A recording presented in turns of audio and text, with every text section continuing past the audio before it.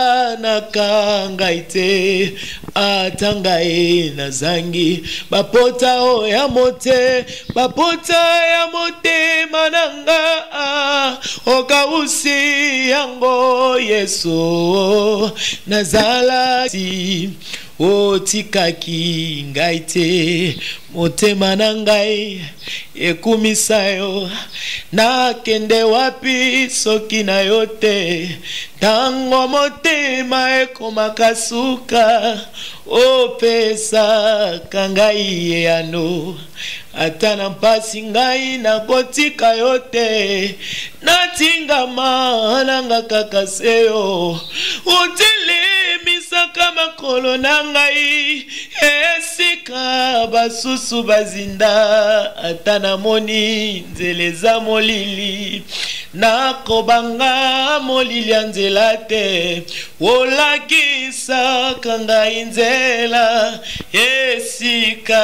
natia lokolo. Nzambe Lola ezo futa bien aimé dans le Seigneur et nous vous souhaitons la bienvenue dans votre euh, émission rien que la vérité esika bo Nzambe ekitaka na loyemo na mawa pe na misala Bonzambe na bonzambe lola ezofuta bien aimé dans le Seigneur. Et merci na bande réunion tout babenga biso. Merci na pasteur Feza Missia la bouche autorisée de l'éternel le pasteur Feza Missia la bouche autorisée de l'éternel na ngamaziri kena philo moko ya motema bivence de homo na depuis Londres pe na maman Gisèle lukelo motema papa Emmanuel eh, na Boston maman mami mbunga nzamba lola amona yo mpe apambola yo motema ya papa blaise embonga eh, depuis suisse bo nzambe lelo ekita bien aimé dans le seigneur na loye motema na maloba elongo na ndeko na ngai ya mwasi oyo azali étudiante bien aimé tomero okitisa bo nzambe na maloba à qui je m'en viens dire bonjour bien aimé bonjour boni santé ya yo bien okay, ndeko ya mwasi bazolana yo de partout tolingaki toyeba mwa présentation nkombo nani oza nani osalaka nini na vie nkombo mm, na ngai dorcas kabuya euh, natangaka na ifasic g2 ah, g g2 g2 euh, dorcas na bandeko bazola na biso de partout tokoyeba mpe mbula na yo 24 ans 24 ok bando bazola na biso émission na dorcas dorcas obetelaki biso lisolo bando bazola na biso de partout na émission na biso oyo ainsi va la vie Eh, rien que la vérité bano bazola na biso dorcas oza na deuxième graduat na ifasic ozokende troisième parce que bouti kosala baexamen eh, oza na 24 dorcas obetelaki biso lisolo na yo dorcas otanga humanité na yo awa to kote mosusu ah, natanga humanité na ngai na mbujimai oza diplôme d'état na mbujimai na mbujimai naye nde kocontinue baétude na ngai ah, na kinshasa Continuez. Vous avez déjà dans combien d'années Parce que vous avez déjà 2 ou 15, j'ai 3, donc vous avez déjà 3 ans Oui, pratiquement 3 ans. Ah. Ah, okay. dorcas bandeko bazolanda yo osali 3 ans awa oza otanga na efasike eh, oexplikaki biso mwa lisolo wana bien nalingaki bandeko bazolanda yo parce que biso tokopesa mpe conseil mais bandeko bazolanda ntema oyo eza site moko chrétien chaîne moko chrétienne eh, eza na bapaster bandeko mingi bakobenga mpona kopesa yo conseil na cas oyo ekomeli yo dorcas nalinga bandeko bazolanda biso okomi na kinshasa okomi kotanga dorcas eloko nini ekomelaki yo dorcas bon nautaki na province nayaki na kinshasa awa mpona natanga e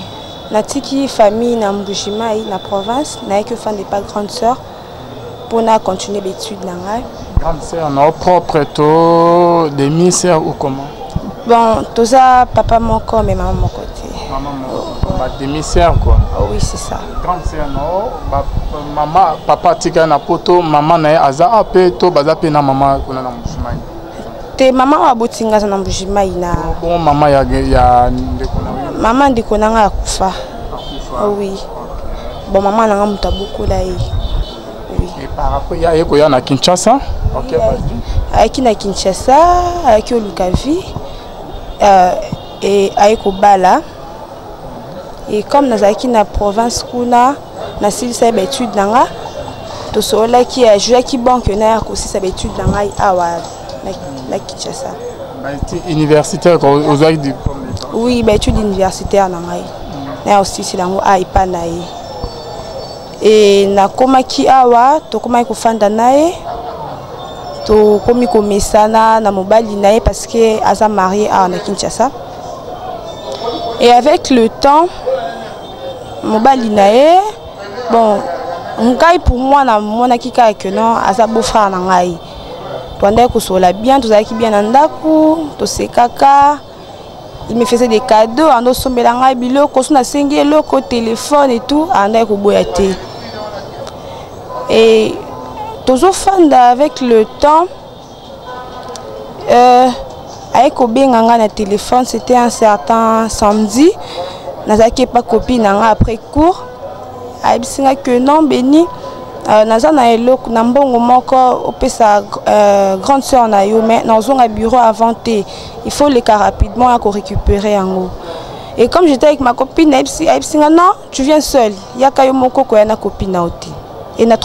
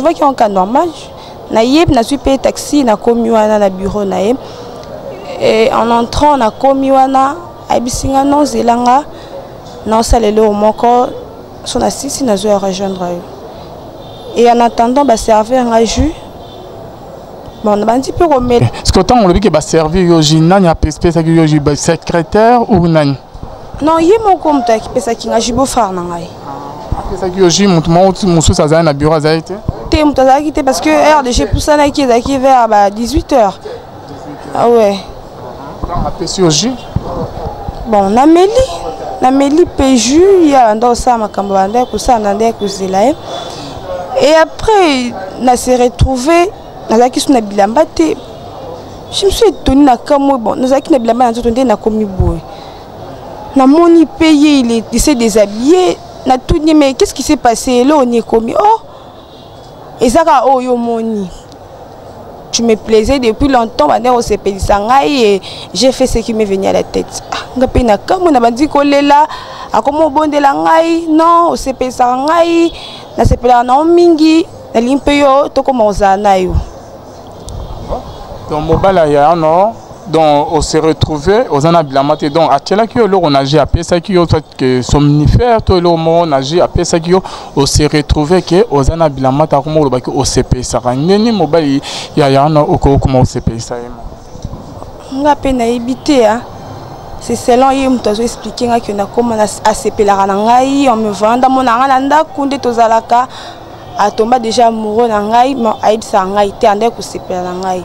etant nakende na bureau na ye j'ai pas compris so atyelaki ngai nini na vert subitement nakoma yoka bavertige nde nalamuki na se retrouve mpe na elamba te e natuni ayebisi nga eloko esi ekomaki esi ekomi donc on a couché ensemble ngai nayebaki te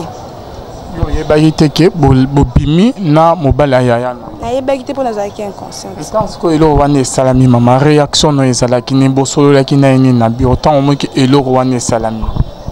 bon ntango eloko nalingaki ku koyoka ye te parce que nazalaki vraiment na kanda na bandaki mpe kolela donc elekela ye nga mingi eh, eh, ye maloba nini ayebisaki yo bon mpo na ye ando trouve yango normal eh?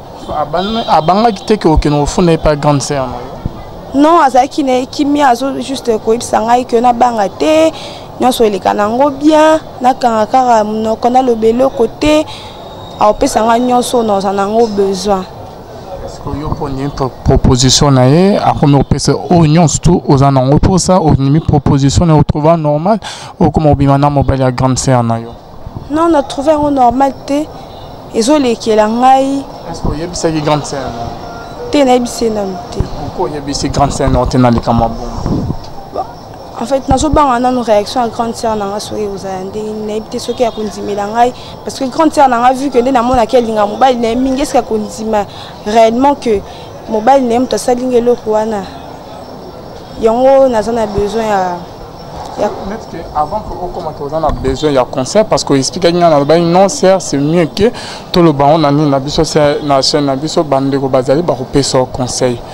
déjà eloko osali obimi na mobali ya yano c'est une malédiction maman olobi ke eh, ozobanga ke okoyebisa grande scène suka kondima yo grande scène apesa yo confiance te est ce que omoni te ke yo mpe okoti na jango ezaki te ke nakoti na jeu nazobanga nde réaction na ye vu que toza euh, mama moko te toza papa moko hmm. bon nayebi te mpo na ye akokanisa yango akozwa yango ndenge nini toyebi motema ya, ya motu te aza grande sœur na ngai bien sûr mais au fond de, au fond d'elle nayebi te ndenge nini akozwa likambo yango mais okolobaka na ye peut-être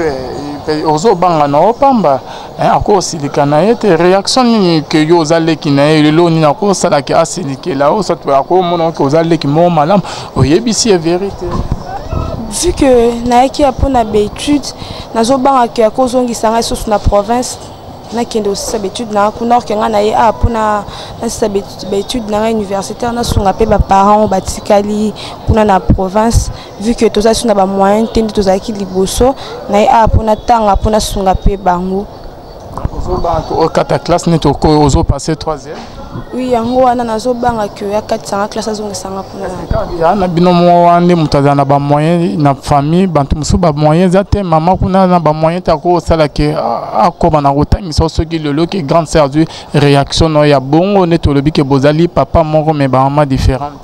bon pratiquement moto aza te ya koaide ngai ndenge ye andai kosala yango grande sœur nde ando ofutela nga classe moto aza te mpo mama mpe so aza so na makasi te donc mbongo eza te yango nayaki apo ye nde asunga ngai yo sikoyo na minute to mama na nde makambo yango ekomeli yo ozomona ndenge après avoir kosala likambo wana o se retrouve ke mobali aya ano atyelaki yo eloko na masango osutuki olali nayebi te soki atyelaki yo osomnifere ou comment osutuki oza na bilamba te ayebisi yo verité ke obanga kosepelisa ye ke bobimi na ye après makambo wana ese azokontinue kaka to atiki na ye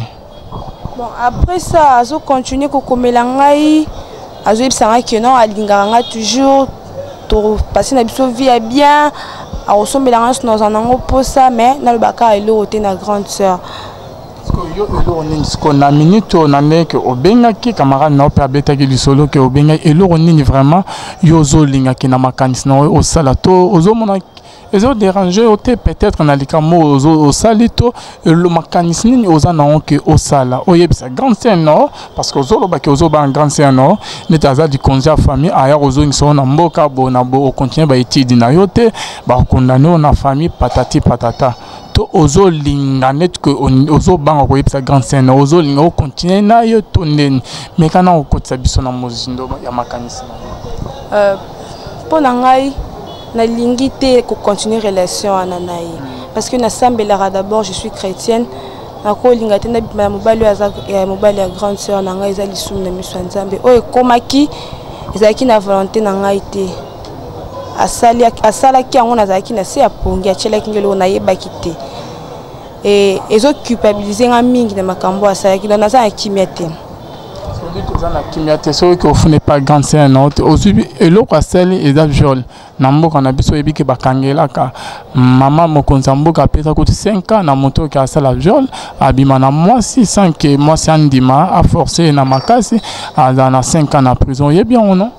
Oui, na yebi yango. Bongo ozwi likanisi te ke okende koporte plainte?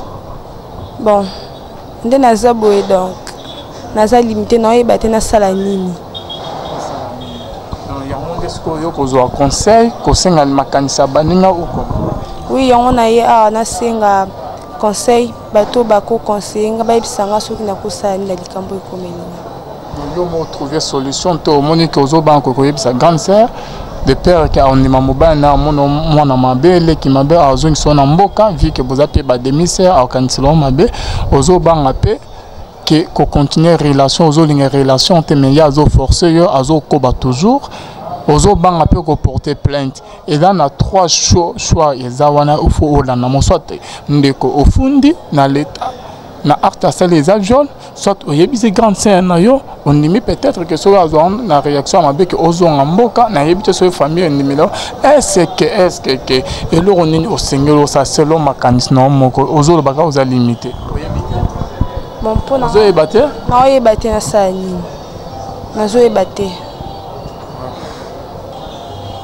na minute oyo ozo vivre ndako moko na yano yano ayebi eloko te ayebi eloko te toza ndako moko parceke makambo oyo ebanda depuis kate ntina akóma na niveau ke atiela oyo eloko na masango se retrouve bon ke abima nao na mbetu est-ce que ebandi depuis kala te oremarkaki te ke abanda kolinga o depuis kala te bon mpo na ngai donc nazalaki na idée wana te ke akoki olinga ngai mpo na ndako tozalaki kaka bien tosekaka nayebi ke aza mobali ya grande sœur aza mpe lokola papa epai na ngai nakokaka koyeba te kazalaki na barrière pensée moko epai na ngai bon andaki kosombela ngai nyonso nyonso nasengaka ye pratiquement apesaka ngai batelefone apesa ayela ngai bakado auta mosala obeshite ashite ceci cela ndo opesa ngai donc nyonso nazanga eloo te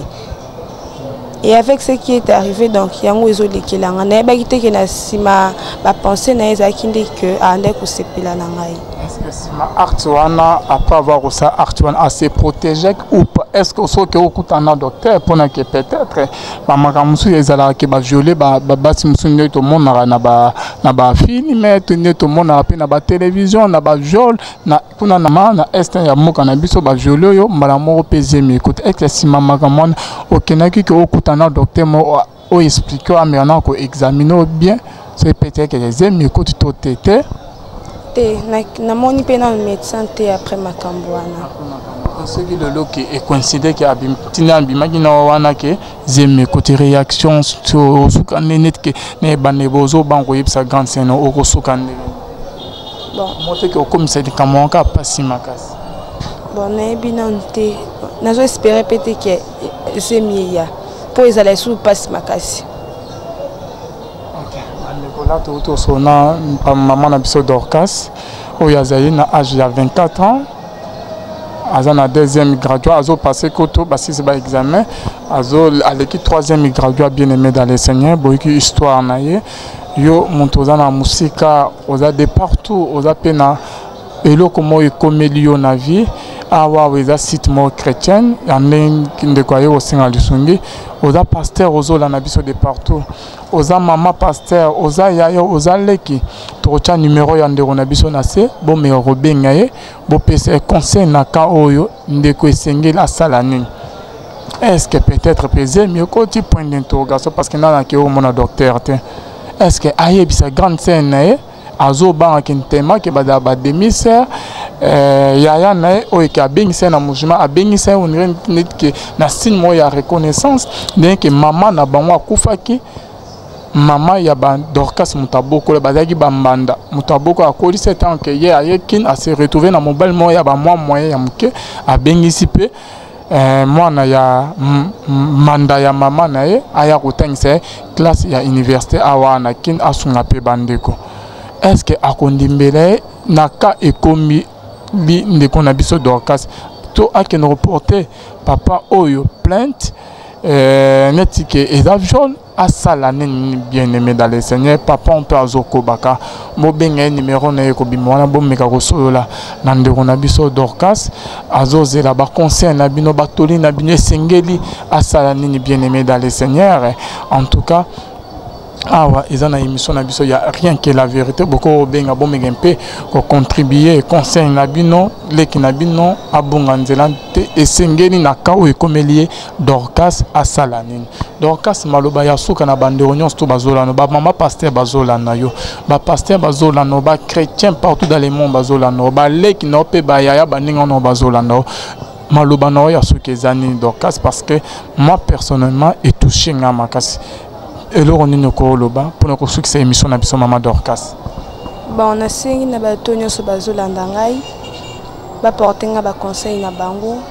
mpona minute oyo naza na eloko ya kosala te nazaka na besoin ya baconseil na bango mpo na trouve nzela naza na eloko ya kosala te donc nasuki euh, nasengi vraiment soutien ya bato baede ngai mpo nazangi eloko kosala nayebi te nasala nini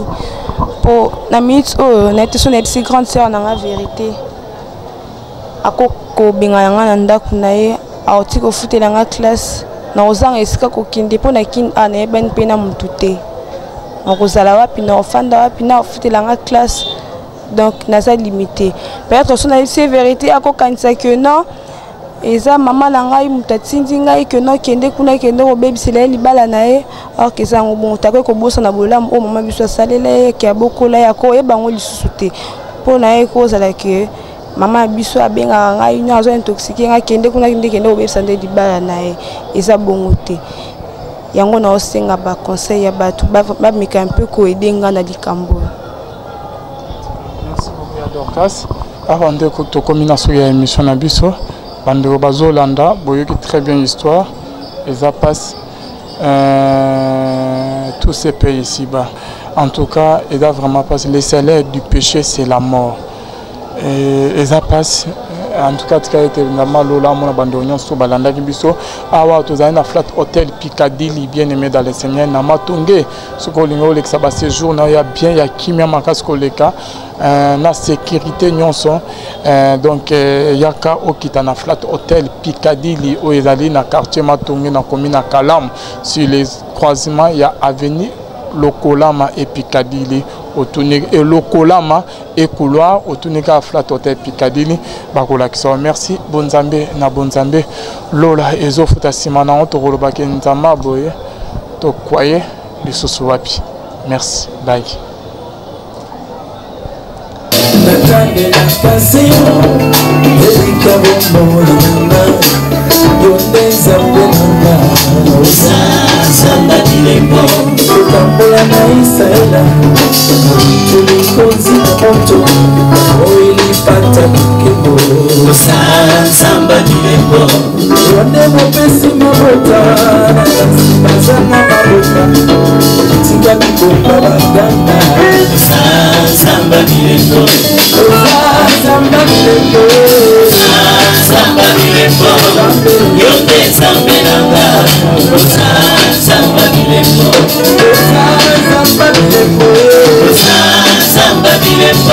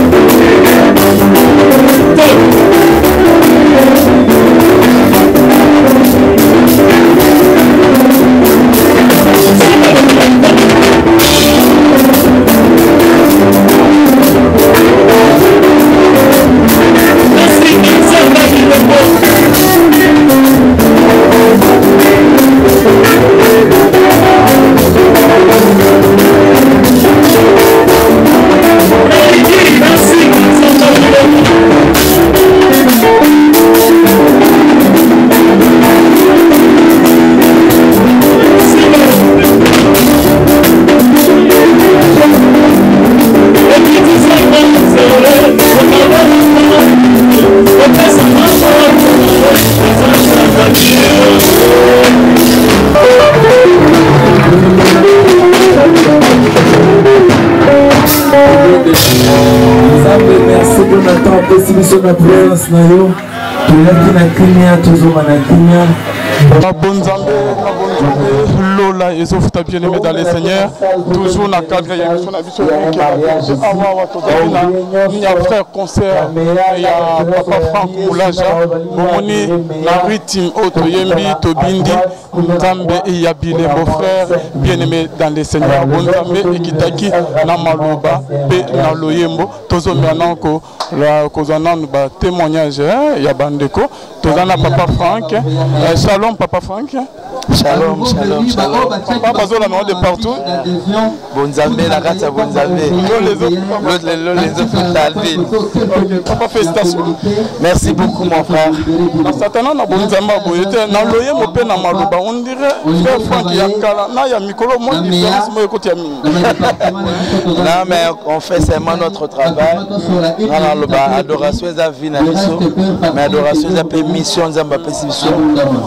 Donc, euh,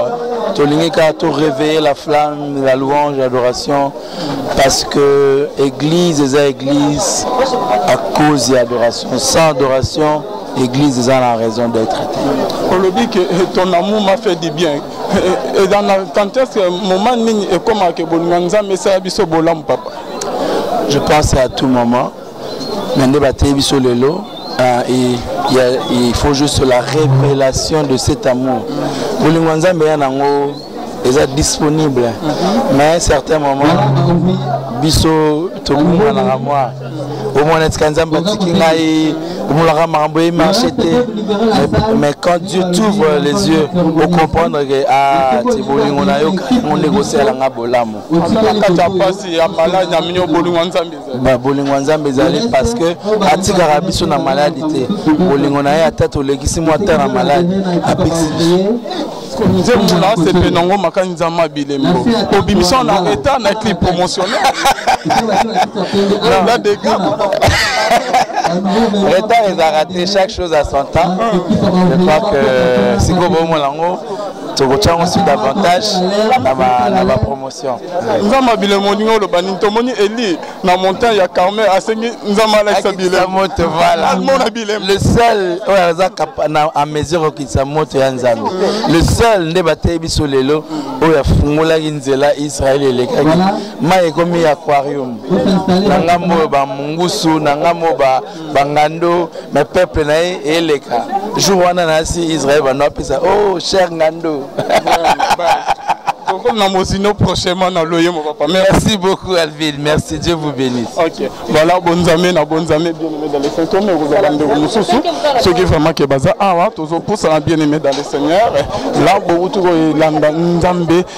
ya bilembo bien aimé dans les elongo na bandeko toomei kozwa batémoignage baimpression ya bandeko oyo ke bazalaki rapidement bien aimé dans le seigneur bamusicien na mwa bamusicien baza lisusu te amos aza te papa henri papa akei bomoni moment oyo tolekisi ya kibonzambe na loyembo bonzambe na maloba bien aimé dans le seigneur on a été vraiment béni na mokolo ya lelo elongo na echo d'adoration bien aimé dans le seigneur expression d'amour nzambe ya bilembo merci beaucoup euh, liloba ndeko papa oyo asistaki na concert ya lelo omoni concert euh, nasepeli na concert ya lelo plus nasepeli na na prédication je ne m'attendais pas à oyoka euh, frère henri de la manière à Théagi, de la manière où, où il a prêché pour Jésus. Euh, vraiment, na sepeli nango, na sepeli pe na jour adoration, na sepeli nango. Na lagi invité à frère Franck, nous sommes en absence du banda et on a eu comme présenteur. Merci beaucoup, l'homme de Dieu. Merci.